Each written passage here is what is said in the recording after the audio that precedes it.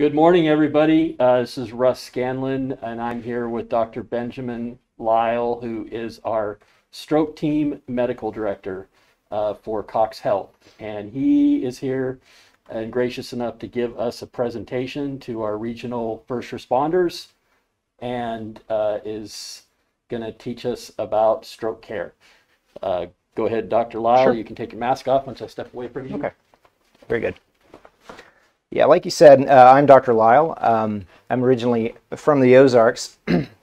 I came here in August and took over as uh, medical director of the Comprehensive Stroke Center at Cox South, uh, and then have since, um, you know, we've we've expanded our our telestroke uh, footprint there some as well, and we'll talk a little bit more about that. But um, I'm originally from the Ozarks, so I'm just very excited to be back in this area. You know, I just think the people here are special, and uh, we have a responsibility to do the best we can to give them, you know, the best stroke care. And no doubt about it, uh, EMS is a big part of that. Uh, so I'm going to talk about time in acute stroke care, and I'll try to add in as much that's practical and relevant for you guys as I can uh, during this time. Um, so I have no financial disclosures to disclose. Uh, you know, like I said, the short version of my biography, I was I was raised in a, in a little town called Huntsville, Arkansas. I grew up on a farm there, and then I went to medical school at the University of Arkansas. Um, and I did my neurology residency at Wake Forest and then a, a stroke fellowship there as well and came in August.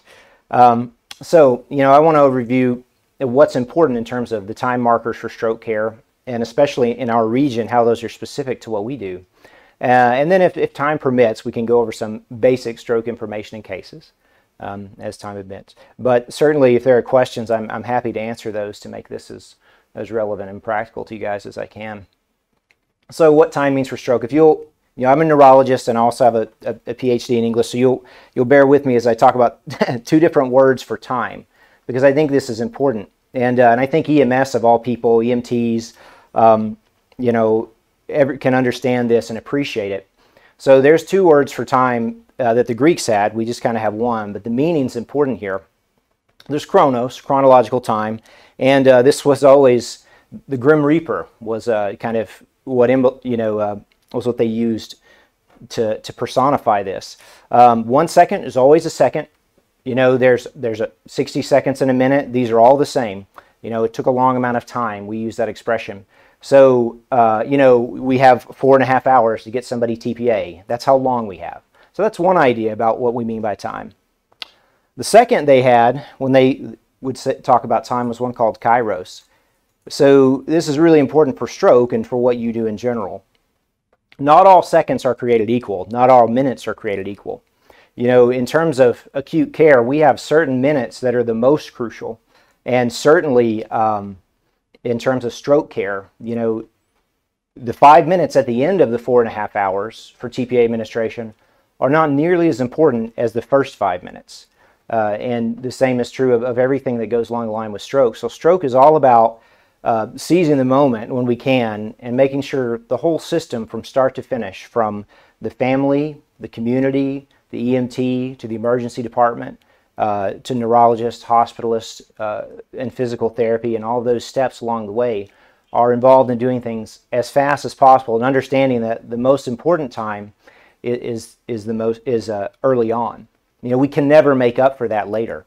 And, uh, and so this, you know, would I, if I were to talk to a bunch of neurologists, as a stroke neurologist, they think we, we move too fast. We, you know, we, there's a certain, uh, a certain kind of know, picture of that. But certainly talking to EMS, we're on the same page, you know. So we're, we're cut from the same cloth. Um, and so when we talk about this, we're talking about Kairos, those first few minutes, those are the times we have to seize. You know, the next two weeks after a stroke, you just can't do the things you can do initially. Um, and, and that's been the case, uh, you know, since we've had acute treatments for stroke, and very little has changed.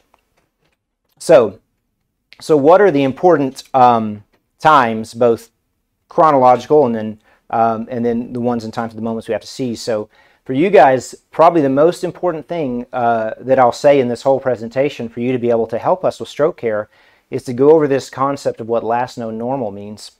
And a lot of you have a really good idea of this and, and do a good job. Um, and so whenever you come, you know that when you come into to Cox South, for example, I'll be there waiting uh, when you guys get there, whether it's coming off of the helicopter or the ambulance. And the first question I ask, and the most important one that we'll ask during that, is what is the last known normal? This is extremely important. And so, what is the last known normal? It's the last time someone could say without with absolute certainty that that patient was normal. It's not when the symptoms seem to come on or, or when they found them. And so that, that distinction is really important. So let's say someone, um, you know, a lot of you will know this already, but let's say someone went to sleep at 9 p.m. on the night before and they woke up with the symptoms the next morning. It's important to know that the last known normal was last night at 9 as opposed to waking up with those symptoms, being okay, and then having them happen that next morning. Uh, so that is crucial. If the patient hasn't been seen for two days, they live on their own, and a neighbor found them, you know, the last known normal would be two days ago. And, and why is that important?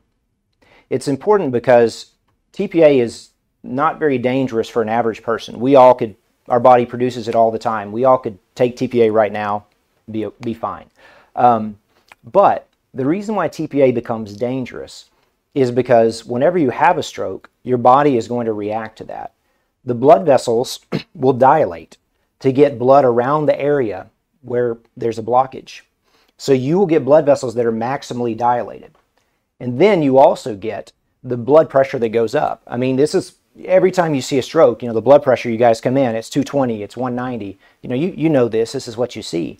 The body is trying to increase the blood pressure to increase the cerebral perfusion pressure, how much blood is getting to the brain.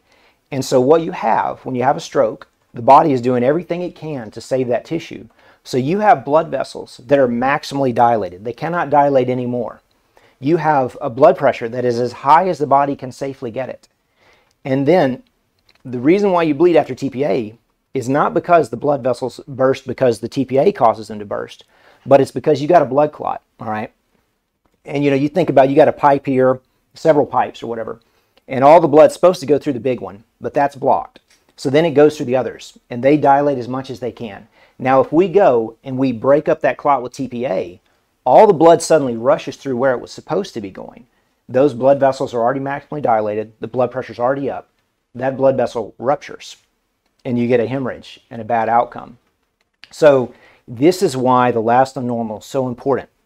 Because if you give this medication and it's you know, we, the last known normal is unreliable, or, or we, we just couldn't we couldn't tell, and we do this, or we've gotten some bad information from from the family or from bystanders or whatever, then that is where we can get into trouble. So that's extremely important. So a couple of very uh, key cases to look at here: right MCA strokes. So someone's weak on the left, weaker in the arm than the leg. They're kind of looking this way. They have what we call neglect of the left hemi body those strokes are characterized by something called anosognosia. So what's anosognosia? Anosognosia is the inability of the person who's had the stroke to be aware of those deficits. So see, you'll have heard this story, I think, before. Someone is in a car wreck. You guys get called, you go out there, you pull them out of the car wreck, and you go, man, they're looking this way. They're not recognizing the side of their body. They're weak. And so they must have had a stroke right then and had the wreck. Well, often that's not the case because the patient is totally unaware of those. They had anosognosia. So we see this frequently.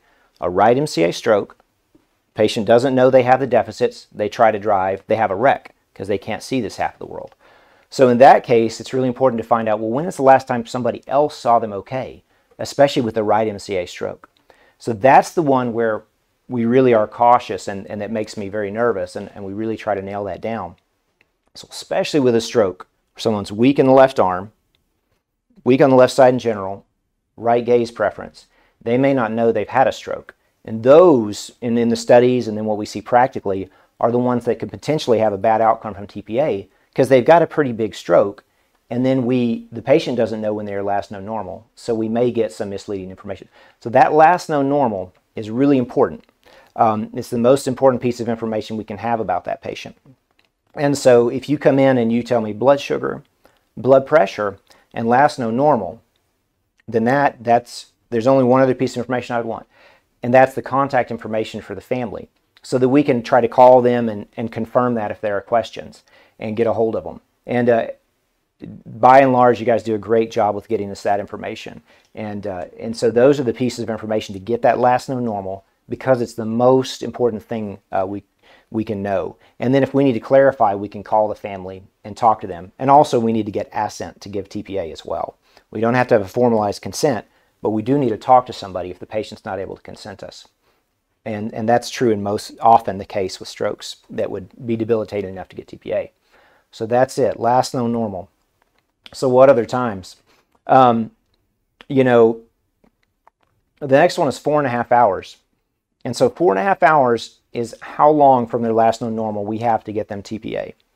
Okay, and so, you know, the one who was 9 p.m. last night normal, we obviously can't administer TPA in that case. So we have four and a half hours. Now, it's very kind of, everything has to work perfectly for us to be able to do this. The family's got to recognize there's a stroke or the patient. You guys get out there, recognize what's going on, get them to us fast. And then also, once they're in the hospital, there are a few pieces of information we have to have too that takes some time.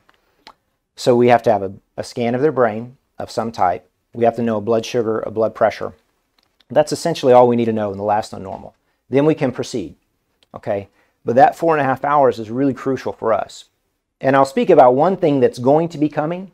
Uh, we don't do this at Cox yet, but other places may begin to do this, which is tenecteplase.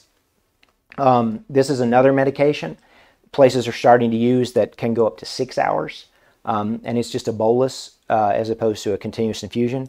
In the future, we may do that. We're still looking at um, how safe that is and, and the efficacy, and the studies are limited right now. I won't go into all of that, but you're probably going to see some outlying institutions use tenecteplase, and in that case, it would be six hours. But for us, within our stroke network right now, um, we're doing four and a half hours, okay? So here, here are all the challenges, you know, that I've started to mention is only 4% of patients present within three hours of last known normal to the hospital of stroke patients.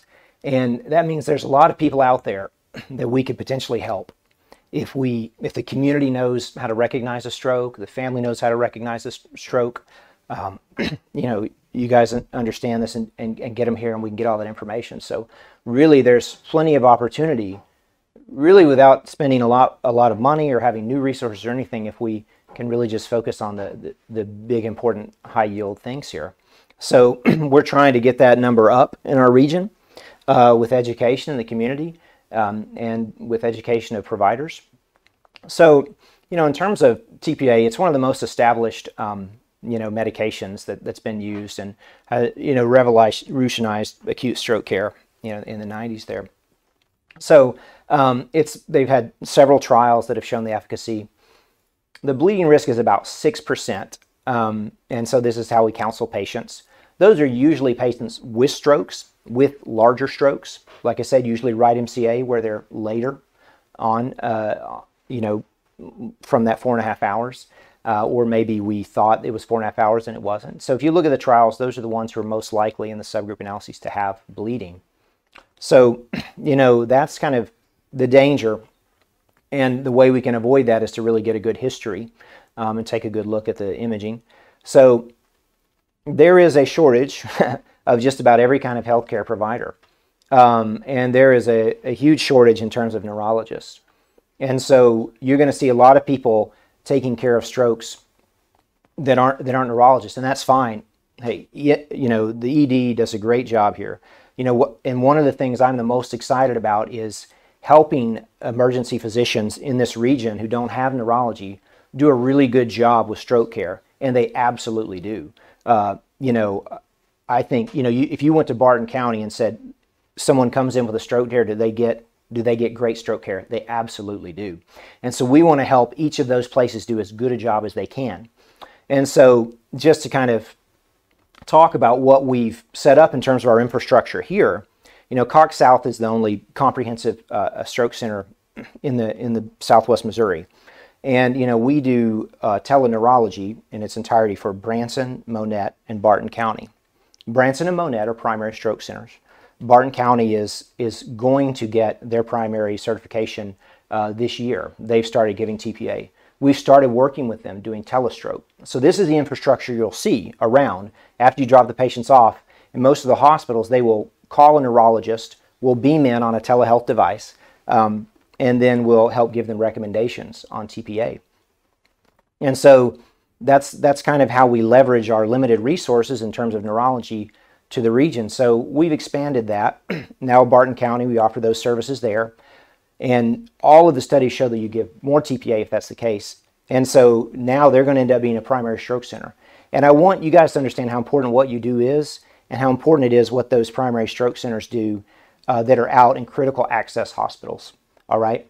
So if, if Barton County can't give, or, and this is just an example, any of these critical access hospitals that are the only hospital in the county, if they can't give TPA and y'all have to drive all the way through that county, how many people, you know, we're talking about 4% at best, how many people then can't get TPA, right? Because they have to drive all the way even through that county to be evaluated. That's a lot of people. That's a lot of good, hardworking people out out in out there who don't have access to that. So what we're trying to work with, and you guys are a big part of, is getting as many places to do a really good job at stroke as possible, not just Cox South. And so Barton County is going to be able to do that. We also have an agreement now with CMH where you know, and we've set up a stroke algorithm ba- algorithm based on their own physical architecture. We do telestroke for them. You know, Mercy has sites they do telestroke for too as well. From and so the goal for everybody, you know, it's a team effort, is to be able to have all of these places provide great stroke care. And so, regardless of where you guys take the patients or where you're from, these are the th- same things last known normal, contact information, blood sugar, blood pressure. So, in terms of the infrastructure, we're limited in our resources, but you know we're we're committed to making places able to do as good a job as they can. Whether I'm physically there, Dr. Paptor's physically there, or whatever, you know that those people in, in Barton County and in, in Monett and CMH, wherever, you know, they deserve the best stroke care they can get. So we're trying to do that. Now, you know, then we may have to transfer them into our stroke unit, but that's okay, you know, because that's not something everywhere would be able to maintain. So the number needed to treat, if you guys are uh, familiar with some of our statistics, is how many people you have to give TPA to to reduce mortality. And uh, our mortality statistics are very crude. It's like, can you walk without a walker or not? That's what we're talking about. So it's a sig- significant difference. Three people. Three people have to get TPA to where one of them can walk without a walker, to where one of them can talk to their family, to where one of them can hear someone, you know, say "I love you" and know what they're saying. So that that is a very effective treatment. Okay, so 30 minutes is another important time. So this is what the big, you know, DNV, Joint Commission, all the accrediting bodies say this is how fast you need to get TPA. This is your goal. Okay. This is a challenge, right? Once they get to the hospital, if we know they've had a stroke, which often we do because you guys give us uh, a good heads up, then then this is possible. But the main hindrances are if we don't know the last known normal, we just can't give it because it's too dangerous. Once again, that's why that's so important. You know, if we don't have collateral sources to get information from. We can't talk to someone else to get assent or information. Um, and then, you know, blood pressure control sometimes, you know, the blood pressure's high, we got to pull that down less than 185 over 110. So we have to get it down below. So those are the things that, that are often a barrier to what we can do. But 30 minutes is the goal. Really, the goal, though, is as soon as possible. And so think about Kairos in terms of time again. The first minute they get in there is more important than the last minute before 30 minutes. So our goal is to get them TPA as fast as possible. We don't wait till it's close to 30 minutes and say, oh, we still did okay. No, our goal is to do it as fast as possible. And you, a lot of you have probably seen me and, and worked with me down there. We, we're safe, we're careful, but we move fast, okay? And so I think that's where you and you know EMS and, and a stroke doctor will get along as you know and understand each other. So why? Why are the first five minutes more important than the last five minutes?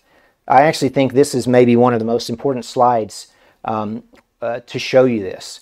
So what I've got here, and I think this was based on, this is from uh, you know a big stroke study in Canada that tried to look at this. So if you have a stroke, you're losing every second 32,000 neurons.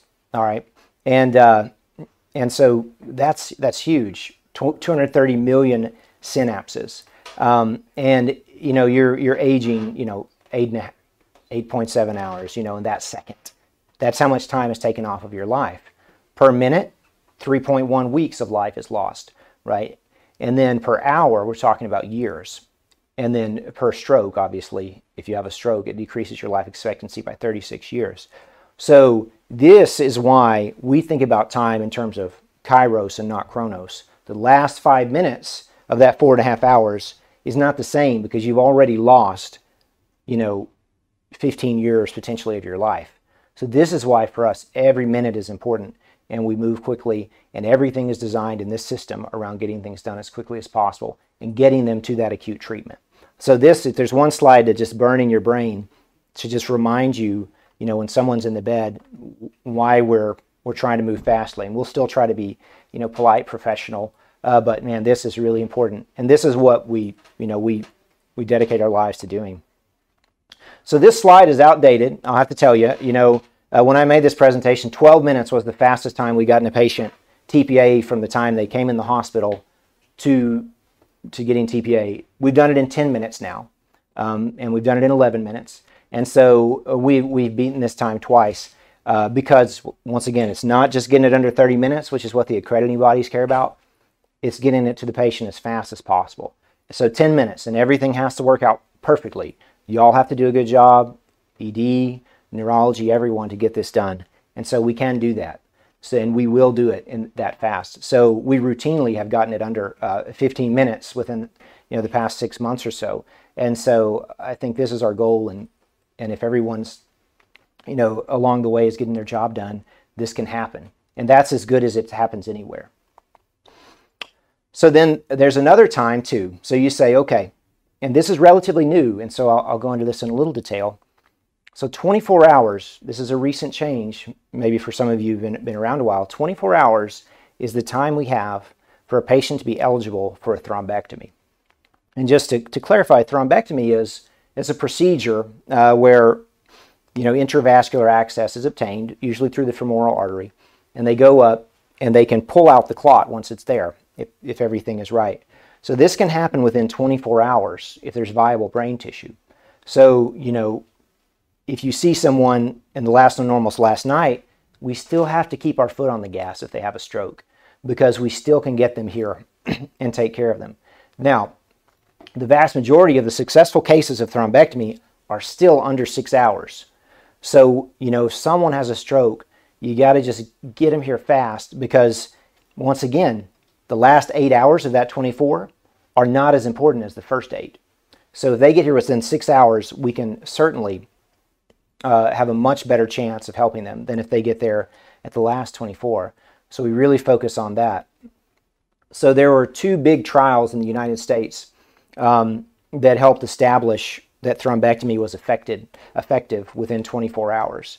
Um, and without going in too much into the trials, but these both came out a few years ago, um, and they were just slam dunks the number needed to treat, and you know I haven't put all, I don't think I put all, yeah, here it is. So here's the trial information, and to give you the short of this, you know, you can see here, um, this was just astounding when it came out. The number needed to treat to keep someone out of a nursing home is somewhere between two and three for thrombectomy, and that's just um, that's astounding, right? Uh, the the amount of uh, people's health that we save, the amount of resources that are saved, um, you know, is, is tremendous. So number needed to treat is somewhere around 2.4 to keep someone out of a nursing home. We're not talking about subtle differences. We're talking about someone being able to walk, talk, and feed themselves. And, and that's tremendous because a lot of people, depending on where you are, you may say, I don't even, I don't even want a treatment that keeps me alive, but in a nursing home. This treatment keeps you out of a nursing home and alive, especially if you're a younger patient. And so just tremendous. And this is something that's available within 24 hours. So we have to keep our foot on the gas even up to 24 hours. And so, you know, this, this uh, you know, if you are familiar with a plot like this, this is just about as impressive a, of a study and as results as, as you can see. Now, this is relatively new. So uh, people are still getting used to this. We're still getting the word out about, about this trial and the changes and guidelines that came from it. So that number of 24 hours is extremely important to remember You say, well, they ha- they can't get TPA. What can we do? Still, if they have a stroke, get them to us within 24 hours, and we certainly will make sure if they're eligible for these treatments that they get them. Um, you know, and this is just another uh, slide showing that the same thing, uh, 2.8 was the number needed to treat for functional independence, all right, to save someone to, to where they can take care of themselves and don't need help. Um, and that's at 90 days. So our goal, oh, a break. Okay, we'll, take a quick break after, uh, let me do this next slide, then we'll take a break because it's still on thrombectomy. So, so our goal for how quickly someone gets a thrombectomy is 60 minutes from the time they get to the hospital. So that means um, they come in, they get a scan, and then you know they get TPA if they need it. Everything gets worked out. We have to get advanced imaging, which takes a little bit longer, either a CTA, CT perfusion, or an MRI, MRI perfusion, and then we can call our interventional neuroradiologist at our institutions who does it. Sometimes it's neurology, sometimes it's neurosurgery and then then we can get them up there as soon as possible to get this procedure. How do we speed this up? I'll tell you one of the things we've done in terms of you know trying to set up a, a network in the region and get everybody you know to work together is a lot of places will have imaging software called Rapid, where outside hospitals will do the CT angiogram to look at the blood vessels, see if there's a large clot. Then they can, some of them can also do a CT perfusion to see if there's tissue to be salvaged. I can see all of that on my phone, even hospitals outside of our system. You know, so Freeman, um, you know, CMH, you know, I've already said we have perfusion now at Branson. We'll eventually get it at Monett and Barton County. So if they get that imaging, they come straight to our interventional radiology. And so we can get them in less than 60 minutes in those cases, much easier. So how can you guys help us with that? Well, you know, really getting them there quickly, and then the second thing, having a good story, as we said, last known normal contact information, and then having you know an adequate IV, which would be AC or lower, 18 gauge, um, is what they would want in order to uh, be able to run you know the angiogram and then get perfusion. Uh, and so if we can do that, you know, 60 minutes, then the outcomes are really great. So this is our goal, and this is actually uh, pretty challenging to achieve. So we're doing everything possible to do that because they have to get all the way to the IR suite you know, um, and have, you know, a catheter all the way up from their artery, femoral artery to their brain. And so doing this in 60 minutes is a challenge, but, but that's absolutely our goal. Okay, we'll take a short break here, um, and then we'll come back and keep going, okay? Hi, uh, welcome back. So, uh, you know, we'll start where we left off, and you know, we were had just finished uh, talking about thrombectomy in the time window, just 24 hours, but once again, our goal is as soon as possible. Um, so we can pull the slides back up. Yeah.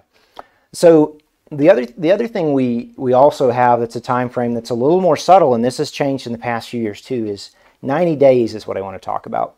That's the other time period. So this is when you're at the greatest risk of stroke after you've had a TIA. Okay. So you know these patients, uh, they will need an urgent workup uh, you know, they need to be evaluated. They need medical treatment for this TIA. And in some cases, they would need uh, an urgent, if not emergent, procedural intervention to prevent the stroke. So I'm sure you've seen this scenario, and we get it all the time. Someone was weak in their arm. You know, uh, granddad went weak in his arm, was like that for half an hour, you know, got better, just ignored it and stayed home. You know, maybe his kids, his wife, someone was saying, you need to go to the hospital and get checked out. No, I'm fine now. I don't need it. You know, maybe someone couldn't talk uh, for 15, 20 minutes, but they got better. Um, they knew something was wrong, but you know they don't want to go through all the hassle of going to an emergency department and waiting. Um, they don't want to bother 911, calling all of those things.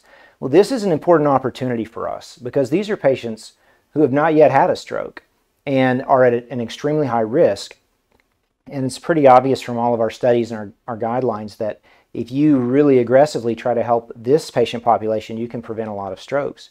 So 90 days is the time where you're at the highest risk um, after a TIA. And really, we, even recently, we found you know 48 hours is where you're at the highest risk after TIA. Um, you know, and then 21 days is another big time frame as well, but up to 90 days. So this is a really good slide to show you how important it is um, to look at, you know, the number of patients after TIAs who will have strokes. So within 48 hours, um, and this is our patients who do come to the emergency department, the ones who will have a stroke within 48 hours is 5%. So all these TIAs you come you bring in, you know, one out of 20 of those is going to have a stroke. And then the number who will have it within 90 days is 10%. Uh, so ex- extremely high. Um, and and that's high because you know, as you probably know, a lot of the things that get classified as, as TIAs are probably not vascular events. Some of these are just just not vascular events. So, and that's even including those really in this number. So some of these, you know, migraines with aura, things like that, that get classified as TIAs and put in this category, even keeping them in the category, 10% will have a stroke in 90 days. This is a huge, huge area of opportunity to prevent strokes. and so recurrent TIA will also occur in 12.7%. They're also at a higher risk of cardiovascular events and the 2.6% risk of death, likely from a cardiovascular risk, uh, event or a stroke. So, an urgent workup of these patients is absolutely crucial. Now, uh, and let me just talk about so the question is well, what will you do over this time period, period if we bring them with the TIA? And the patients will ask us this. You're at their house, maybe they called 911 they were hemiplegic, aphasic, something, they got better. And you go, you need to come to the emergency department. But will they do anything differently? This is the question you'll get. Will they really do anything differently? I'll tell you what we'll do, okay? They'll come in and, uh, and hopefully, you know, we'll get a call, we'll see them. Um, if they're an outlying facility, they'll call us as well. Certainly anybody in our system or at CMH, they'll call us and hopefully, and all the other facilities in the region should have someone they can get a hold of. So they'll call and we'll say, look, we need to figure out exactly why they've had a TIA. We'll get an ultrasound of their heart. We'll get some type of vessel imaging, ultrasound of the carotids or a CT angiogram. You know, we'll get a couple of labs that are important. Uh, and then, you know, obviously we'll get brain imaging. And so uh, a certain percentage of these patients who come in and the symptoms have resolved will actually have a stroke on imaging.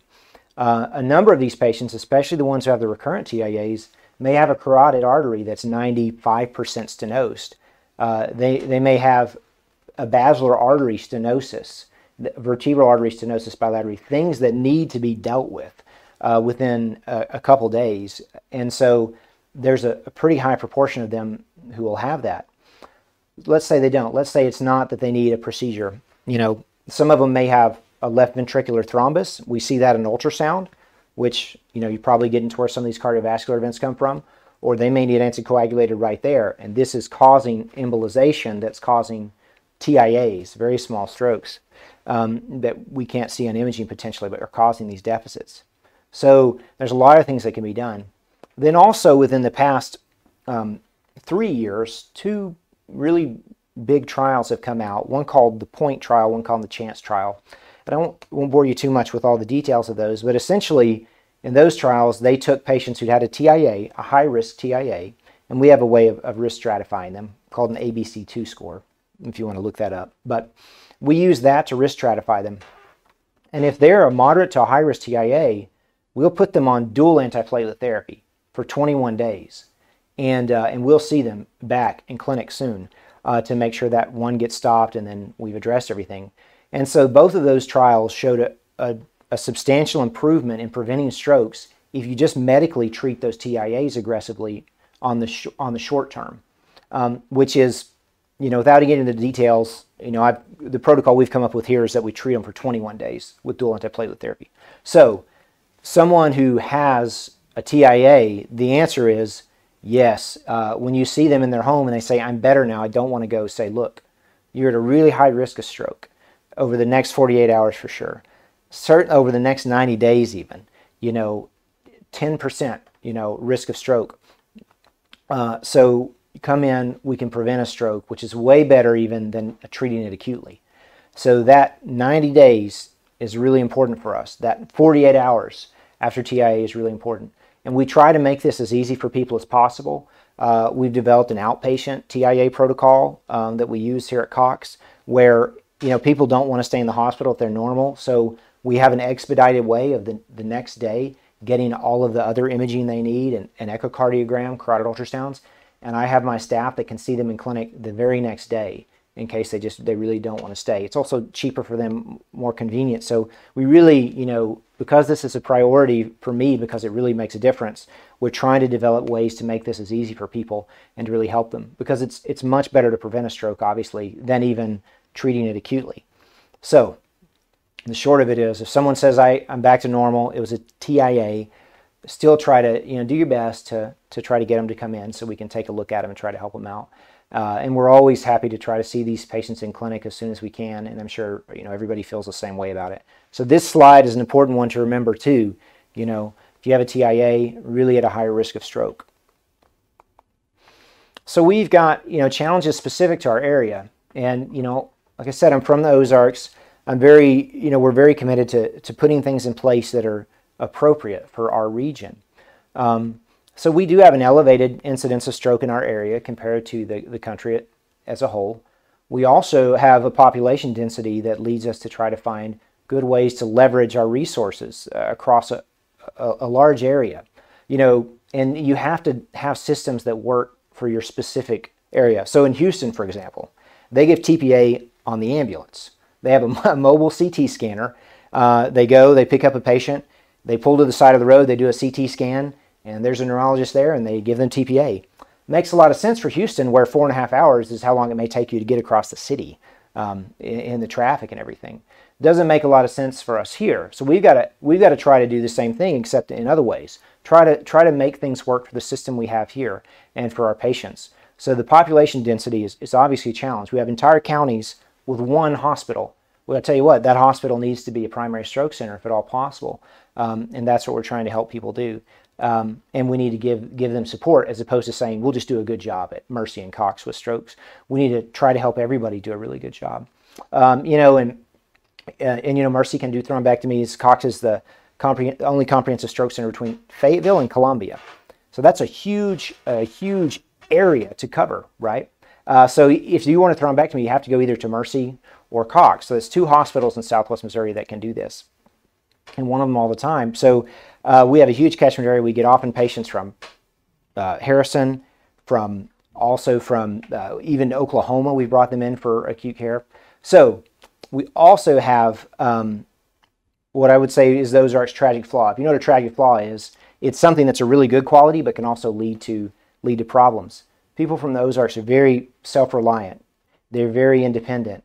Uh, they they don't want to ask anything of people, and these are great qualities. But it also means we have to work and take care of these people uh, who who kind of approach things that way, you know. And you know they're gonna they don't want to leave. They've got to take care of their grandkids. They've got to take care of their neighbors' dogs. You know, these are the things that people in the Ozarks do, which is one one reason why you know I care so much about them. But they got to take care of themselves in these settings too. So this is a challenge we face too, is to try to educate uh, people on that. So in terms of the first the first challenge I mentioned there, to go in a little deeper, um, there's this thing called the stroke belt. Um, and so there's an area uh, with the highest rate of, um, of death due to stroke in the U.S. And you can see the darker colors here on this slide are that area.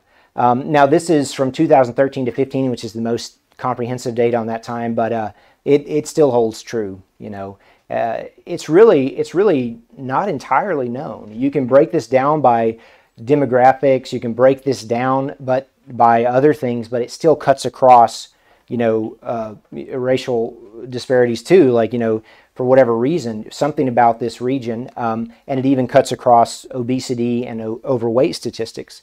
So, for whatever reason, this is a, an area where there are more strokes per capita, and the outcome outcomes are worse. And it you can see where that is there, and we are included in this. You know, um, certainly. Uh, and so we have to really be, be on top of things here. So high rate. Then here's a map where, of a population density, right, to show you the challenges we face that are just very different than some other places. Um, so obviously the lighter areas here are the, the least uh, population dense. So you guys have to travel a lot further. We have to go further out to get to and from places.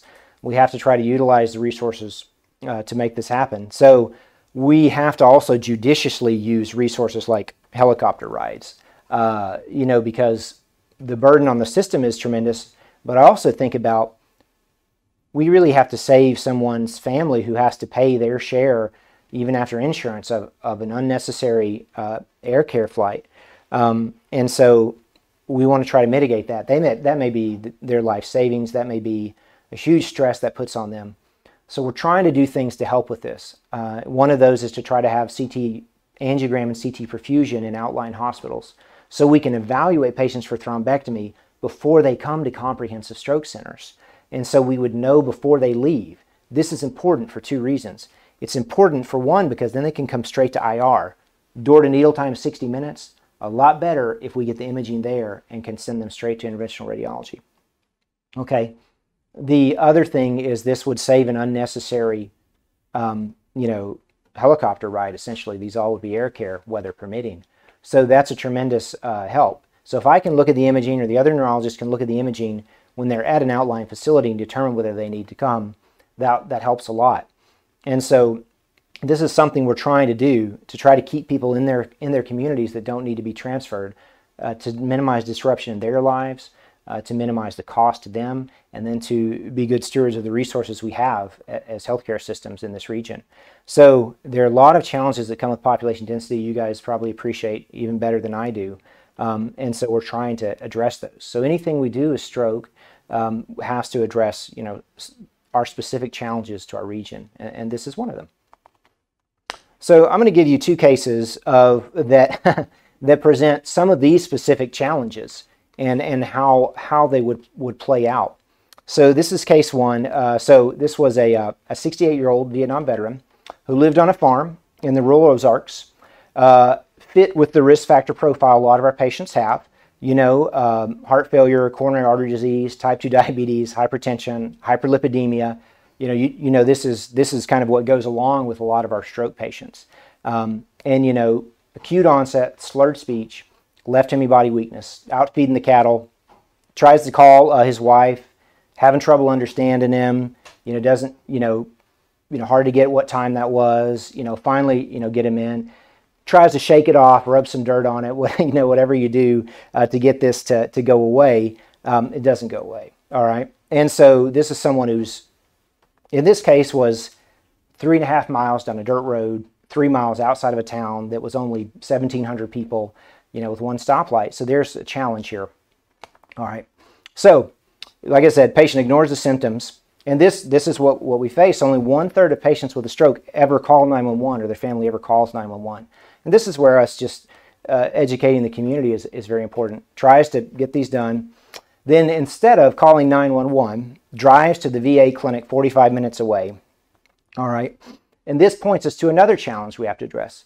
And every time I see a stroke patient in clinic, the last thing I leave them with is, what are you going to do if you have a stroke again or something that seems like a stroke? What are you going to do? You're going to call 911. And we have to continually reinforce that because all the studies show, and we all see this, if someone arrives via EMS, they're way more like, likely to get timely intervention. Someone walks to the front door of an ED somewhere, someone drove them, we don't know they're coming. Um, that triage process is really is really good. It's really effective in the EDs, and they do a great job with it. But it's it just doesn't happen the same as if you guys get them. We know they're coming. They come in the back door. Cox South, they roll over a, a scale and they roll right around the, the corner to the scan. And so if we know they're coming, so this is a challenge. Uh, you know, most patients don't call, and then if they come, they may come in a way that's that's not optimal. Um, so, so this patient was then sent to uh, the, uh, a stroke center uh, from there, a comprehensive stroke center. Last known normal was seven hours um, after. So by the time they got there, we're out of the window for any therapy. Um, patient was discharged to rehab, and then still, you know, there's you know, had two more strokes, kind of was handled, handled similarly, and is now in a hospice. So this patient never got TPA or thrombectomy, still never seen a neurologist. It just, this case uh, shows us the challenges that even a relatively capable person, uh, you know, will have in our region, uh, you know, and we've got to try to do our best to, to help with that. Now, case two. Okay, 74-year-old woman, and, and I, really, I love this case because of the outcome and it just shows, shows what can be done. A 74-year-old woman with a past medical history significant for hypertension was found unresponsive by her husband. Her GCS was 4, okay? Not a lot going on there. And uh, let me show you. Uh, I've got two scans here. Now, you, know, you're not used to probably looking at catheter angiography, so I will uh, just show you the one that should be on your left is, is a scan. You can see two arteries going up. Those are the vertebral arteries, the two on the sides, and then they join together to form the basilar artery. So, you know, the carotids go up in the front, the vertebral arteries go up in the back, and then they form the basal artery that then supplies the brainstem. Then as the basal artery goes up, it splits into two uh, posterior cerebral arteries. And these supply your visual cortex and also the thalamus. So they, they supply the thalami bilaterally. So very, very important. Okay, so the left one, you can see vertebral arteries. See there? Two of them go up, and you can see where they, they join and form the basal artery, and there's nothing. There's nothing there.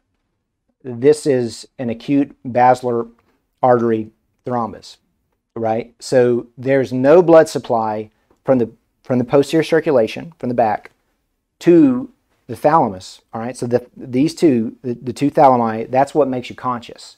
Um, uh, and so if you have a stroke to both of those, you're locked in at best, and probably would have a devastating brainstem stroke. Probably would have stayed with the GCS at four. Okay, you see the second one on the right. This patient got here, uh, actually got to, you know, came in the ED uh, at Branson, I believe. And so a good job of that ED physician to realize this could have been a stroke, right? A good job by the husband uh, was there, figured it out, you know, got them there quickly, called 911, brought them in, they rolled in, okay, got advanced imaging there, and realized we realized what was going on. You see the picture on the right, okay? You see the picture on the right. So this is uh, what it should look like. Look at the top of that.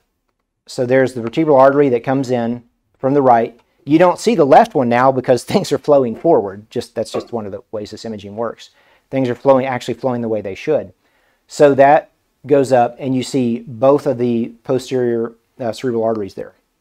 So this is a patient um, who went a thrombectomy. She left without mild deficits. She didn't even need physical therapy, occupational therapy, didn't need speech therapy. She went home with an NIH stroke scale of zero after having a GCS at four. It, it would have it would have been over. Okay, um, and so, look, those two cases present, uh, you know, help show the difference and and how things can go if, if we have everything that works really well from start to finish, which you guys are part of. And to me, you guys are part of that, not only getting there, figuring this out quickly and letting us know, but you know, that you, you guys are all embedded in these communities, spread out all over the region. And part of it is for us to, to let our, our neighbors and our family know, you know, what a stroke looks like, to let them know what can be done you know, because TPA has only been, hasn't, I mean, it sounds like a long time, but we're, we're talking about not even 30 years. Thrombectomy is being standard of care, we're talking about within five years. So a lot of people don't realize that things can be done. And dramatic things like this, you know, this patient didn't get TPA, but she, you know, she's totally fine now because of this. So we got to be out there telling them, um, look, if you have a stroke or you even have a T- TIA, we got to get you in here. We got to get it figured out. There's things that can be done um, and, and we will do. So um, those two are really important cases to demonstrate the difference. Um, and so here's a patient who not on hospice, but is totally fine, probably not even really aware of how bad things could have been. Um, and, and that's good. That's what we want. Um, that first case was my dad, actually. And so, you know, we've got, all of us probably know somebody here who stroke is the second leading cause of morbidity in the world. We're going we're going to all know somebody who's affected by this. And we've got to really be careful to let them know things can be done and take care of it very quickly, start to finish. So, all of us, if we haven't been affected by this, will be at some point. And we have the resources in the region to do it. We just need to all get together and leverage those to, to help people and knowing those challenges we have. So, this is a, a third case. And uh, I just this is a, a case I, I think I saw this as a as a resident, um, and just to show you that strokes you know can be can be subtle. There can be some things. So uh, this is a 50 year old truck driver, past medical history of high blood pressure, tobacco use, um, and being a truck driver, which is independently a pretty big risk factor for stroke. Uh, came in with a chief complaint of seeing demons for two days. Um, this came on suddenly. He's driving his truck, and uh, these are these are demons. They're like the little pitchfork, pitchfork and tail, one of those kind of demons. Saw him, knew they weren't real. He's not doesn't have psychosis. Uh, knew they weren't real, and uh, was having trouble driving because they were they were distracting. So he came into the emergency department, and you know what's going on? Is he is he drunk? Is it is he psychotic? Um, does he have some kind of poisoning? Uh, is it some kind of brain infection or is it a stroke? Um, and then what we realized was he had a what we call a left homonymous hemianopsia, meaning he couldn't see, he didn't have vision in the left half of his vision in both eyes, which is something that always comes from the brain. That comes from a stroke in the posterior cerebral artery. So here's just uh, not not to bore you with too much of the, the later neurology stuff, but but here's an MRI, and stroke neurology is pretty pretty easy as far as as things go. You know, we've got a bright spot and a dark spot, and that's how we tell there's a stroke. Um, it's it's not too hard, which is why I like it. It's pretty clear cut. So look, we have what we would expect: uh, a bright spot on our ADC on our diffusion weighted imaging and a dark spot on our ADC. So he has a stroke where we'd expect, right? Right PCA territory. And then this is uh, susceptibility weighted imaging, it shows a, uh, a dilated basilar artery there. Um, and then there's an, you can see there's an aneurysm there that he had that was causing strokes to come from this aneurysm with a blood clot, caused a stroke there, and then caused him to have uh, hallucinations. So this was what we call Charles Bonnet syndrome. Um, so, you know, you can get vision loss acutely, and then you get hallucination.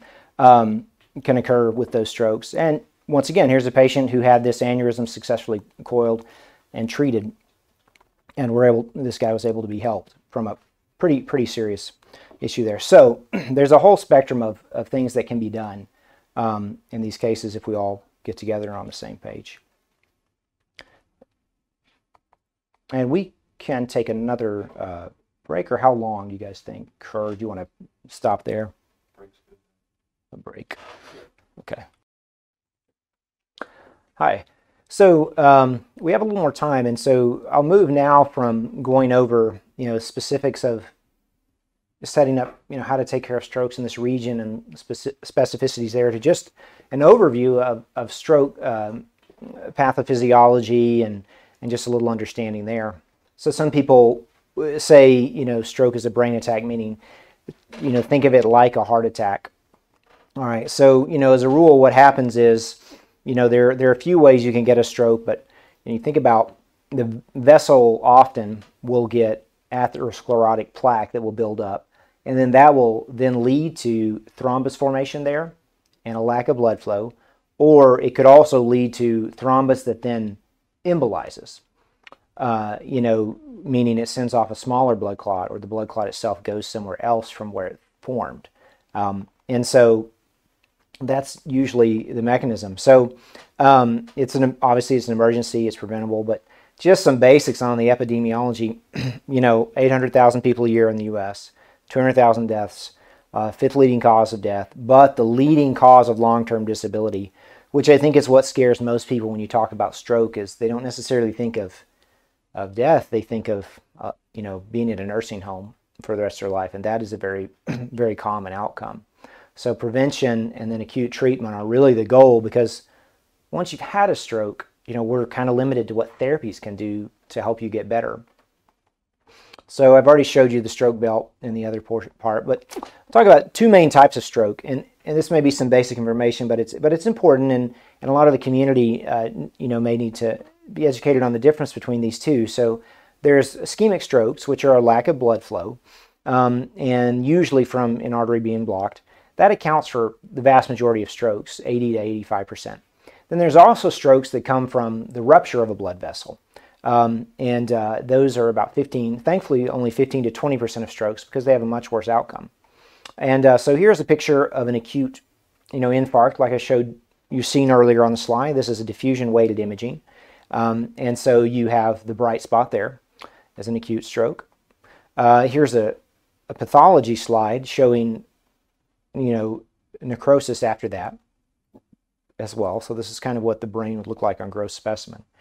Then this is a hemorrhagic stroke. Um, and this is a CT scan And so you see the bright spot, we call that hyperdense.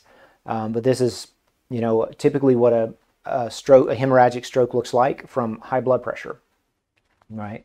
And, you know, this is another reason, you know, controlling blood pressure is the number one thing we can do to prevent a second stroke or to prevent um, an intracerebral hemorrhage. And so these have much worse outcomes than ischemic strokes.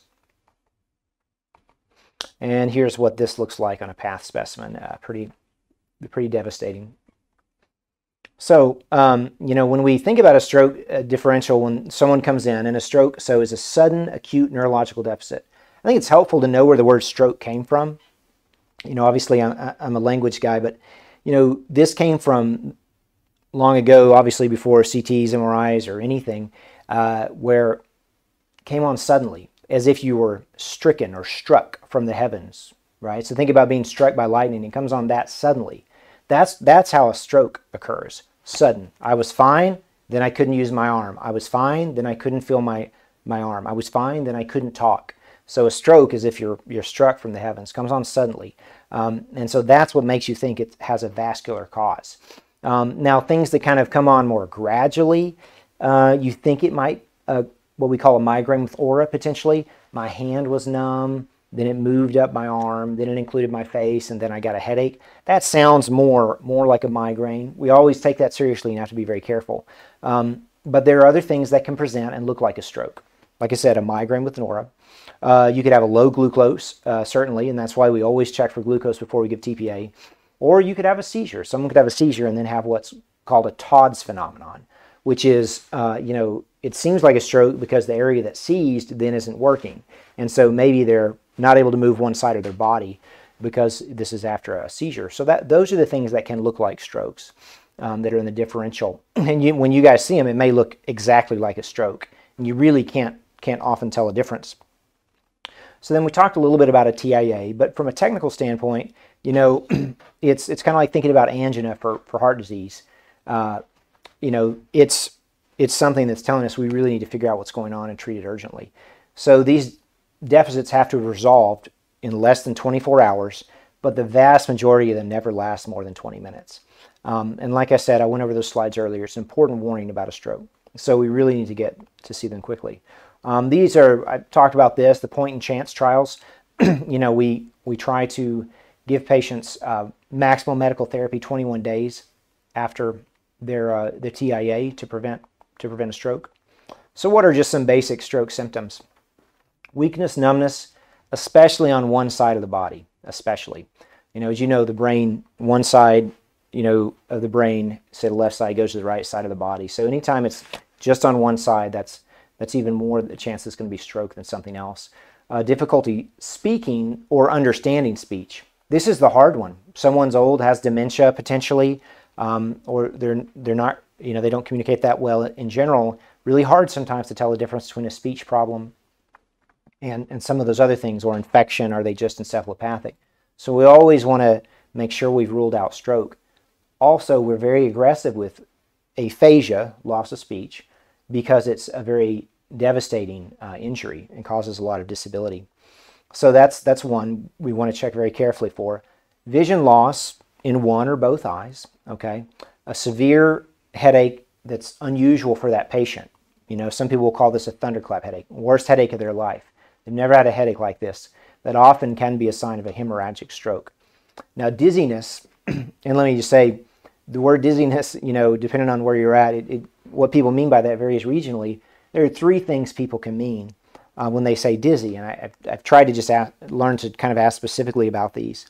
So dizziness can mean feeling, for some people, means they feel lightheaded, as if they're going to faint. Okay, that's one thing people can mean. That's usually not usually not a stroke. But there are two other things that could be a stroke. When people say dizziness, the other things they could mean are they could mean vertigo. Some people, when they say they're dizzy, they mean vertigo, the sensation that the room is spinning, like they've just gotten off of a, a carnival ride, something like that. That, if it has another symptom associated with it or is acute in onset and doesn't go away, that could be the sign of a very dangerous stroke. Okay. Then the other could be when they say they're dizzy, they may also mean they can't get their balance.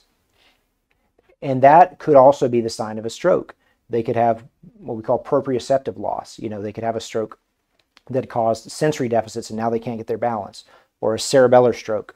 So, dizziness and vertigo could be signs of very dangerous, subtle stroke. Um, so, if they mean those two things by dizziness, then that certainly could be. Um, and especially if they say, I'm kind of numb, I'm really dizzy, I have a facial droop, and I'm really dizzy, and they mean vertigo. Well, that's something that's uh, that could be a very bad stroke. So those are the symptoms, all right. But so obviously, location in the brain determines what symptoms you have, um, and you know there's you know you've got a little you know, picture up here, a little graphic. So the frontal lobe, really hard to tell that someone's had a stroke. They can have a very big stroke in the frontal lobe, and we don't notice a whole lot. It's pretty subtle, especially acutely. But now, if someone has trouble understanding language, then that's what we call from Wernicke's area. And that's in the, the, the parietal lobe there. And that's going to be someone who has, you know, they're able to, they can't follow commands, right? Uh, they may be able to, to verbalize, to say some nonsense, but they cannot follow commands. And then um, we have Wernicke's area, which is another area where people just, they can't, um, they can't understand language there. And so um, then Broca's area is where you express language. So they may be able to understand you, but they don't say anything. Maybe they just seem quiet. Maybe you think they're just stressed out. You know, maybe you, you think they're really anxious and they're not saying anything. That can certainly be that can certainly be a stroke. And in terms of isolated aphasias, the way the blood vessels break down is the middle cerebral artery comes in from the carotid, and then it divides in two, and part of it goes superior and part of it goes inferior. And so the superior part usually if you get a stroke there, usually will affect the arm too.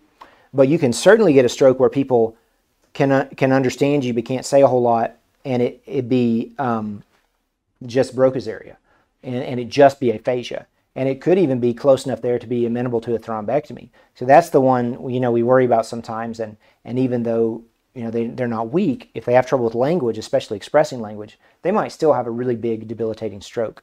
Um, and so the occipital lobe, like we said, is vision, and uh, and then the, the temporal lobe, it's harder to, to see a, um, a whole lot more from that.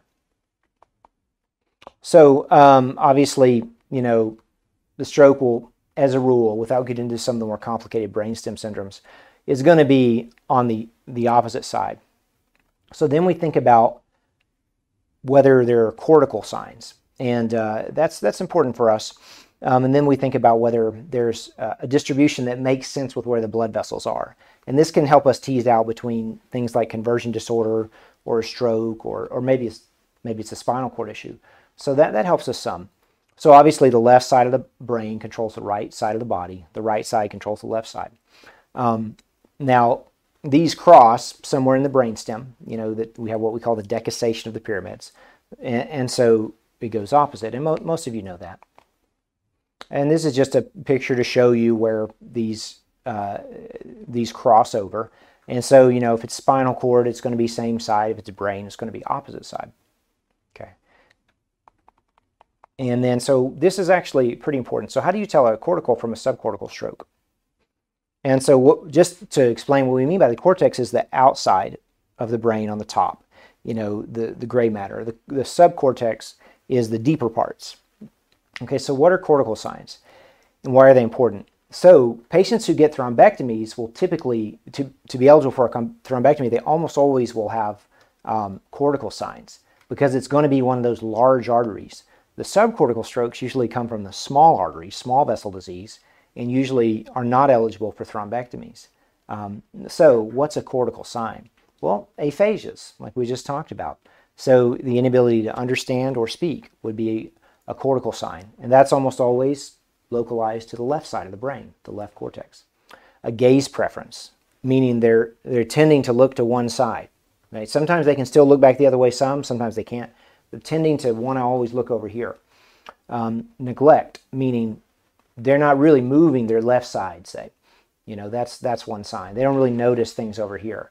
Maybe you even put an IV in and they don't even move, um, or maybe they they move when you pinch them, but they don't on their own move that side. So neglect is certainly a cortical sign. Personality changes, that's a very subtle one we don't see too often and, and hard to tell when you first meet somebody. Um, so then some of these others are a little more subtle and, and probably not as helpful for you. You know, you, you're not going to be testing for graphesthesia. And to be honest, I'm not in the emergency department either. But those are your cortical signs. And then subcortical strokes will tend to have uh, the whole body on the opposite side be weak or lose sensation. Uh, and so that's what you get. So the other thing too is if it's a cortical stroke, like let's say a left MCA or a right MCA, um, then those will tend to have the arm weaker than the leg, unless it involves the subcortical structures. A subcortical stroke, if someone's weak, will tend to be face, arm, and leg the same. And so that's another thing that can help you. So if face, arm, and leg are all weak, that's probably subcortical. But hey, if it's they can't talk and their arm's weak and the leg's still okay, hey, that's that's that's definitely a cortical stroke. So we call these deep strokes that are subcortical. You'll hear some people say lacunar infarcts. Um, and these are 25% of smoke of strokes. Um, small, deep, and these are, are deep in the little blood vessels, and so usually not a, a candidate for thrombectomy there, but certainly these do respond well to TPA. Um, and so these are things that come from having hypertension, diabetes, long-standing, tobacco abuse, high cholesterol, all of those risk factors that so many of our patients have. And these are, um, are the ones that are there. So like I said, these can be where you just have motor deficits. You're just weak in the face, arm, and leg on the other side, usually equally. Okay, and these are in the, you may hear say internal capsule, the, the pons, the corona radiata. So these are all the, the lacunar syndromes. Um, you may have someone who's got weak and clumsy on that side, um, and then you know that can sometimes be the legs greater than the arm, but but often the same. And then uh, dysarthria, clumsy hand, is one we see frequently, uh, and this is one people may try to kind of pass off and not come in. They just they couldn't you know they, they couldn't text, they couldn't type, um, and then their speech is slurred. So that is also a subcortical stroke and can be subtle, but but it is pretty debilitating. You know, if they're right-handed and it's their right hand, uh, and they're especially if someone's very high functioning, this is a pretty debilitating stroke. Um, and the dysarthria is extremely frustrating to people um, and can cause a lot of issues too. So those are the the short ones, the subcortical ones in short. Uh, the other thing is you can get just sensory deficits, face, arm, and leg. Okay, and then you can get both sensory and motor. And then this is just a look at where the blood vessels go. Um, it's color coded here. The green's the middle cerebral artery. Um, the kind of uh, peachish color there is the anterior cerebral artery, and then you can kind of see the posterior cerebral artery um, there. And the anterior cerebral artery, you know, that's very unusual to get a stroke there. But what you would get is you'd get leg weaker than arm usually on the opposite side. Um, the middle cerebral artery would usually be arm weaker than leg. And then those cortical signs we talked about, either neglect if it's on the right or aphasia if it's on the left. And the posterior cerebral artery would lead to the visual issues we talked about, usually loss of vision in one half of the vision of both eyes. Okay, and sometimes you can get some language issues there as well. So um, just to go over the, the MCA syndromes, you know, we've talked about this a little bit, but on the left, difficulty with language, gaze deviation to the left, you know, um, a field cut on the right, um, and then weakness arm greater than leg, and then loss of sensation on the left. And then from the right hemisphere, as a rule, you won't get language uh, changes. Um, you can get gaze deviation, and you may get their inability to notice things on that side. Um, you know, if you put your hands up, um, and you can put two fingers up, like two sets of fingers up, and say, you know, like this, and they'll only see the ones over here when you show them two. But if you just showed them one on the bad side, they still be able to count it sometimes. Um, and then you could get a field de deficit, and then once again, weak arm greater than leg and loss of sensation. Like I said, ACA, very uncommon. Um, leg is weaker than the arm. You may get a gaze preference, some sensory loss. You know, and this is just a picture, you know, you, you probably see in school a, a lot briefly, but essentially the leg is, this is called the homunculus, but the leg is on top of the brain, and then as you go down, you get the face and then the, uh, the hand. And um, you know, it's important that the face and the hand are close to each other. So right MCA is usually you know face and hand. And often when people get seizures in that area, they'll feel numb in their hand and their face. You know, so just you know, knowing that those are kind of there in that middle cerebral artery territory. And then a PCA syndrome would be um, a loss of vision on on one side, um, or if it was both of them, totally blind. which is unusual but happens in some some bad strokes, like the one I showed you earlier with the basilar artery that was occluded. That patient had bilateral cortical blindness, couldn't see anything. Um, but that's unusual in a very bad stroke, obviously. Um, and then these are some, you know, I won't go into too much these other more uh, obscure, you know, issues that can come up there. Um, and then, you know, the brainstem and cerebellar strokes, these are more challenging to localize. They're more challenging to realize it's a stroke.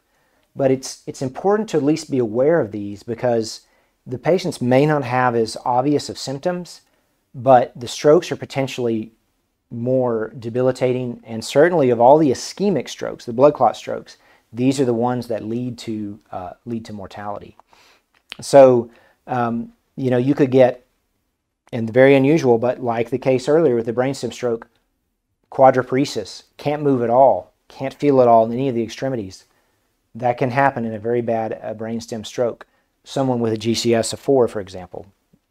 Could be, could be. If we don't have another reason, we at least need to think about stroke and get CT angiogram.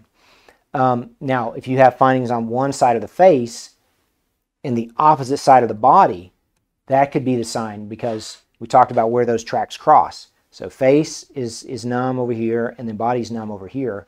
Okay, well that's a, that's a that's something that could be a brainstem stroke. Okay, so you know loss of consciousness, decreased consciousness, like we said, vertigo, uh, refractory nausea, vomiting. Um, if you have eye movement abnormalities that aren't like a gaze preference, but let's say one of the eyes is off, you know, you, you, it's a third nerve issue where it's down and out, or when you try to go this way, this one can't. That's called an internuclear ophthalmoplegia. It's not that that's a, that's actually a pretty common thing, you know, but um, that that's a sign of a brainstem stroke. Or the eyes are just going. You know, these are all things to think about a brainstem stroke. And uh, you know, really bad dysarthria and nothing else. It's probably a medullary stroke, a brainstem stroke. Um, and so all of those things are, are should clue you into man. This may be a subtle stroke. It's not obvious. They may not even be weak at all, but um, that's one we really wouldn't need to get to. And uh, you can get so cerebellar infarcts and I'll tell you why these are really important in a second. So you can get ataxia, loss of coordination um, of the opposite side of the body. So someone who just got, like I said, just really, they say dizzy. They say, hey, I'm dizzy. But what they mean is I can't get my balance. You know, I'm falling and I can't even sit up. And, and you see this sometimes. So cerebellar strokes are really important because someone, they may have a stroke scale of one or zero right? Because ataxia is just one on the stroke scale. They may have a stroke scale one, but if they don't get a suboccipital craniectomy, meaning a, a neurosurgeon goes and takes the, this back bottom part of the skull off, because there's not much room in the back of the brain to swell, uh, the posterior fossa we call it. You know, your brain's got two cavities. You've got, you got the big one on top and the, the smaller one on bottom. If you have a cerebellar stroke, it can be really big and you don't know it because the symptoms aren't that bad. And then if that patient within three days doesn't get a craniectomy and, and treatment for that, that's a fatal stroke. And so these are the ones that scare us as neurologists. If someone comes in with dizziness, they say, "Oh, they're dizzy." Ooh, you want to? I just it makes me a little nervous because I want to say, "Okay, let me make sure this is not some subtle presentation of a potentially fatal stroke." And so the dizziness in that case, once again, is not. I feel like I'm going to pass out. It's either vertigo, or it's a loss of balance. And if they have loss of balance, and maybe one of the eyes is is not wanting to go where it should or they're disconjugate, that's a bad stroke. And that's one that would need to be taken care of. And in terms of the swelling for cerebellar strokes, it usually reaches its peak, any kind of swelling from a stroke, at day three to day five. You know, some people say day two to day five, depending on the literature you look at. So this patient will be like, well, I'm kind of fine. I'm just have bad bad balance over here, can't grab stuff. So they're okay for a couple days. Then all of a sudden, someone comes in, they're unresponsive, and, and they've herniated. That happens not infrequently. So we all have to be on our guard for those, and it's easy for for, for all of us to miss those. Uh, but if they get treatment, if they get the appropriate treatment, these patients do extremely well.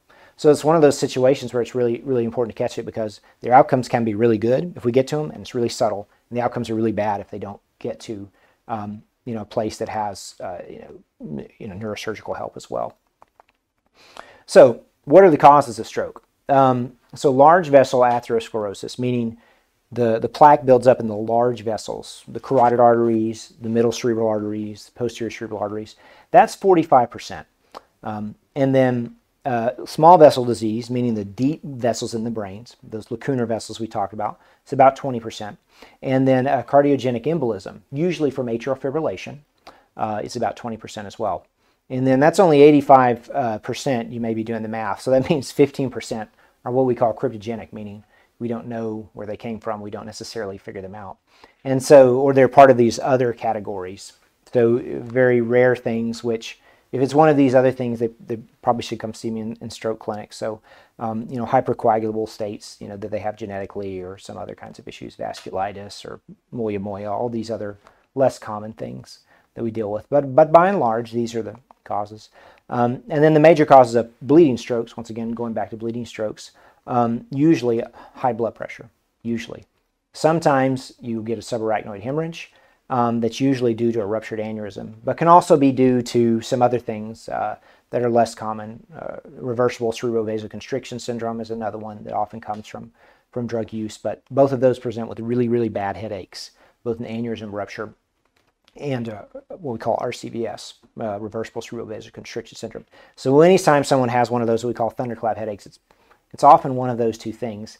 And the outcomes for obviously aneurysm rupture or intracerebral hemorrhage are, are very are very poor in general. So we really, if there's a patient that we can get to and, and try to help with those, we want to do the best we can. Um, so what are the things we can do to help uh, prevent strokes? Well, there's some things you, you can't change or, you know, uh, you know, but some things are modifiable. Uh, hypertension would be one of the most important things here. Um, we can certainly try to decrease that. And there's a really good, just to show you how important this is, a really good trial that was published three years ago called the SPRINT trial. Um, and it was the best blood pressure trial really that's ever been done. And it showed that we want to not only get people below 140, but as close to 120 as possible once they've had a stroke for secondary prevention. And it was, the trial was stopped halfway through because it was so obvious that that was helpful. So the blood pressure is one that, you know, it, it's not a complicated thing. Nobody gets to feel like they're real clever for helping somebody's blood pressure, but it's an absolutely vital thing. And it's something that's easy for people to, to neglect and, and, and push down the road. And this is where, you know, primary care prevents more strokes certainly than neurology does by helping with blood pressure. So that's really something that's important to do. Um, if you could change one thing after someone's had a stroke to prevent the next stroke, it would be modifying someone's blood pressure. And then heart disease, especially atrial fibrillation. We can get patients who need to be on anticoagulation, on anticoagulation, um, find the AFib and do this, then that that's especially important. Um, smoking, certainly, we all we all know that um, is a risk factor. Heavy alcohol use certainly um, leads mostly because it leads to high blood pressure, but causes a lot of uh, damage as well. Obviously, high cholesterol, diabetes, obesity, and then sympatho, uh, sympathomimetic drug use. So, a fancy word for meth and, and cocaine.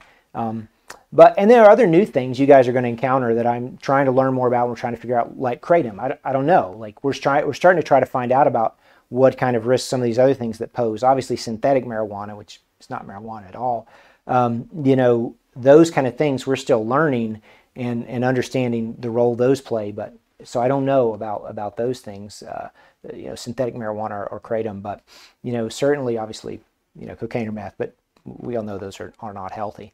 Um, so, you know, like I said, hypertension is the one thing if you wanted to really prevent the second stroke, you would we would work on, would really work on. Smoking, obviously, um, you know, if you your risk can get really close to baseline risk if you stop smoking. Um, if you have diabetes, obviously good uh, blood pressure, I mean, uh, blood sugar control, and then um, you know, high cholesterol. If we put you on a, you know, the statin and control that, and it's the goal is different after you've had a stroke. It's less than 70 LDL. And then uh, with atrial fibrillation, the difference is there's a higher risk of bleed, of course, and, and we know that. But the difference between the second stroke when you have AFib or primary prevention actually with Coumadin and aspirin is, is dramatic. It's very dramatic. So that that's another way we can do it. So uh, other things that are new that are really prevalent that you know increase risk for stroke, sleep apnea. Um, you know, and we have uh, clinical trial, you know, that we're a part of through StrokeNet at, at Cox to help with this as well. So sleep apnea is one, um, and uh, increased risk of stroke with patients with sleep apnea. Um, you know, and it, this is something that affects your health beyond just stroke. You know, it, it affects your health globally, but we really um, we really try to focus on that one as well. Less common lipoprotein A. Um, this is something that's uh, a little little less common. We check for in certain populations who continue to have strokes and heart attacks, especially in their family, uh, and we haven't found a, a reason for it. Um, and uh, we will uh, probably all needs to be said about that one. If they if they keep having strokes and they have that, uh, we'll figure it out and take care of it. So primary prevention for strokes, um, identify and control the risk factors, and really get people to buy into controlling blood pressure, focusing on the things they can before they get a stroke. Secondary prevention, um, we need to find the cause, large vessel, small vessel, cardioembolic, and then figure it out. And then, you know, obviously if they have a carotid needs surgery, that needs to happen. If they have AFib, they need anticoagulation. Um, and then identify and treat all the risk factors. And that's what our workup is about. And so we'll help with blood pressure, uh, diabetes, smoking cessation, um, diet, nutrition. Everybody that comes into my stroke clinic, I talk about the six top things you can do to prevent the next stroke. And you go in order, you know, blood pressure. Are you on anticoagulation, antiplatelet? Number two. You on a statin? Number three. You smoking? Number four. Um, and then nutrition, just in general. And then exercise, number six. And I think all those things we have to deal with as well. and then so, you know, those are the things we we work on.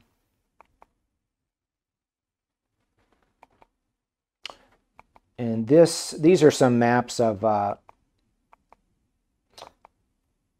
of of uh, the rate of uh, obesity, you know, and uh, starting back in 1988, and uh, you know, didn't have a lot of data actually in 1988 on this, couldn't even get it, but obviously you, you can see the trend, and this is something we all know about, um, and and so we all have to kind of work on this, um, and and obviously you know, Missouri is is very dark in that last one in terms of the darker has the higher rate of obesity. But this is pretty much occurring across the country. This is something that's been talked about at length, so I won't go into it too much more. But this is something we, we got to, you know, we, we don't need to beat people up about it, but be there to help them uh, in our communities and in our families and, and when we see them in practice as well.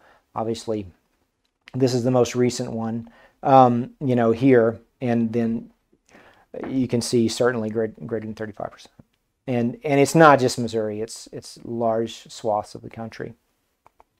And that was 11 years ago. So um, you know, in terms of the rest of these slides, you know, just to reiterate TPA um, and then the Dawn trial. But then this is a little more into thrombectomy here. I'll cut to this.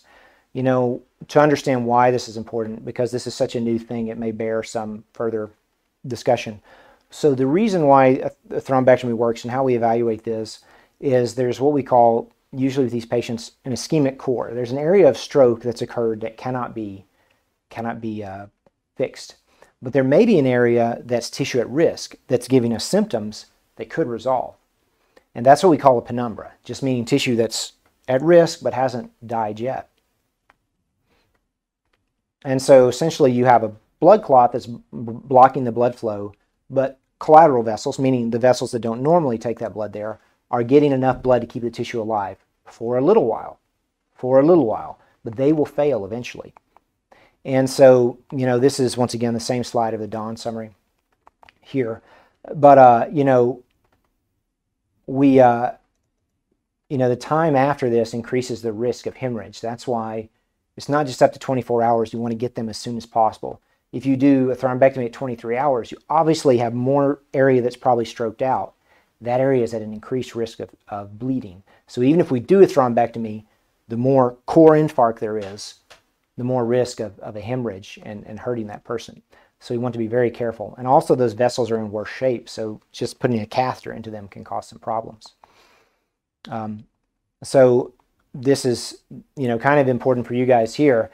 So um, or no, sorry, the post-stroke medical management. So now let me talk about pre-stroke a little bit and what people will do often. So what I see some people do in patients will say, yeah, I thought they were having a stroke, so we, we gave them four aspirins, you know, and they swallowed those. We'll try to tell people not to do that because when this first comes on, you don't actually know whether it's a bleed or a blood clot stroke until you get a scan of the brain. So we try to caution people, you know, don't necessarily, with a heart attack, it's fine, you know, that's, you know, that's what you do, I suppose. But with a stroke, we don't know whether it's bleeding or blood clot until we get a CT scan. So don't, they don't need to take, you know, that aspirin um, in that case. And then certainly we can let the blood pressure go up to 185 if we see them beforehand. So, and then after a stroke, what we manage is we try to keep their blood pressure normal, um, try to avoid, you know, we try to keep their glucose normal. We try to keep keep them from having a fever, and then pneumonia is a pretty common complication. Okay. And then, um, you know, our initial evaluation we talked about, we get a brain scan of some kind. We get an ultrasound of the heart. We get an ultrasound of the, the blood vessels in the neck. And then we monitor their heart rhythm on telemetry looking for atrial fibrillation. And sometimes we'll do a little more uh, advanced testing with uh, TTE or a conventional angiogram, which I showed you a picture of earlier. And then if it's a really, you know, a young patient or high risk, we may do some more, um, you know, extensive workup, certainly. And for us, a young patient is less than 65. You know, our, our patient population is pretty, pretty old. And then, you know, sometimes, and this is why the TIAs are often important, is if someone has uh, a TIA or multiple TIAs, they may have a carotid artery that's got a substantial blockage. Um, and so, you know, we, we can refer this patient, figure that out, refer them, decide whether they need pretty strong medical therapy or whether they may need an intervention. And we can get that done in the hospital pretty quickly. Um, and so that's another reason to evaluate them quickly. And then they can sometimes get stenting as well if they can't get a surgery, if they're a high surgical risk. This may all change in the next few years. We have a clinical trial called CREST-2 that should complete in the next few years and is comparing medical therapy to stenting to endarterectomy, and it'll be really the best trial for that. So as of now, all three of those things are on the table depending on the patient. And you can see here in this patient, this picture how um, how narrow that carotid is there, and that that causes a problem not only because it could stop the blood flow in its entirety, but whenever you get a very narrowed vessel from uh, for whatever reason, usually atherosclerosis, you know, you get blood flow that's not going straight through it, it becomes turbulent. And even the, the geometrical configuration of the plaque, like if it's uneven and it's not even not a high grade stenosis, the blood's not flowing straight through there. So it will kind of swirl and eddy. You can see this on ultrasound.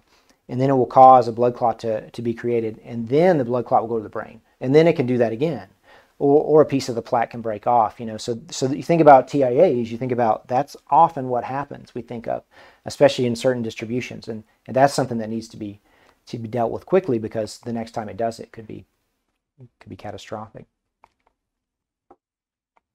Okay, and yeah, there's an after picture, and you can see how much better that carotid looks after the stent has been placed.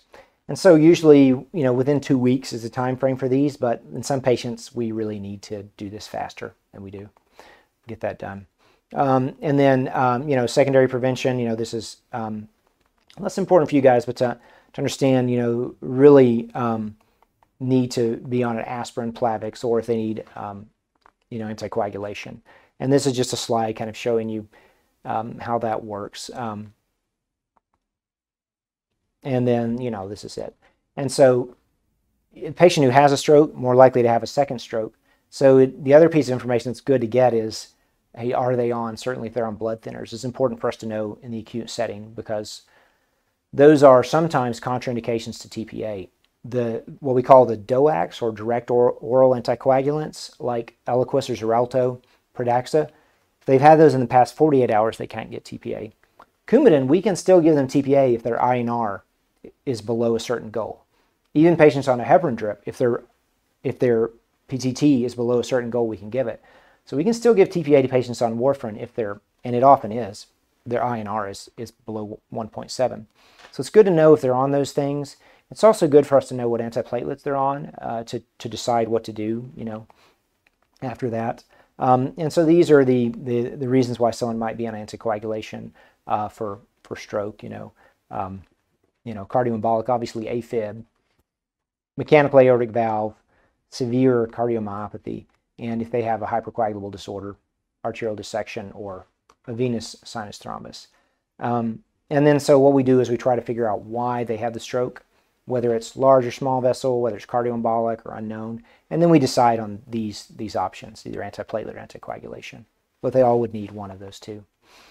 And so, uh, who recovers from a stroke? You know, age obviously is very important.